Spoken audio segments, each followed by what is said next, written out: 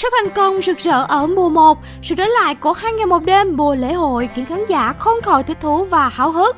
Một tin vui trong mùa đặc biệt này chính là dàn cast vẫn được giữ nguyên đội hình theo mong muốn của khán giả. Ngoài ra, cũng không thể thiếu được sự xuất hiện của thành viên thứ bảy Jennifer. Khi dàn cast bàn về sự trở lại của chiến thần xui xẻo trong hậu trường chặn Quảng Bình, Trường Giang đề xuất biến Jennifer thành phiên bản người thật là một nghệ sĩ thật thì hứa hẹn sẽ mang đến nhiều điều thú vị cho chương trình.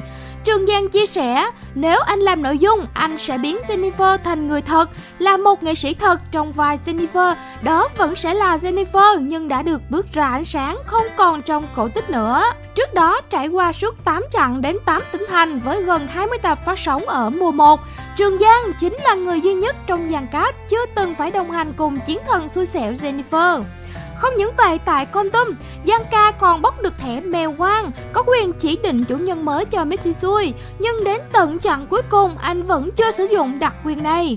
Nói về kỷ lục này, Trường Giang bày tỏ sự tiếc nuối và cho biết với anh đây là một điều buồn vì chưa kịp có kỷ niệm với thành viên thứ bảy của chương trình. Dù bên vực Jennifer không có lỗi lỗi là do biên tập, nhưng người anh ra vẫn xác nhận nó xui thiệt nha. Cùng chờ xem liệu chiến thần xui xẻo có biến thành người thật không và liệu nghệ sĩ nào sẽ thay thế Jennifer trong việc mang vẫn đen đến cho đội sở hữu. Chúng ta hãy cùng chờ xem nhé.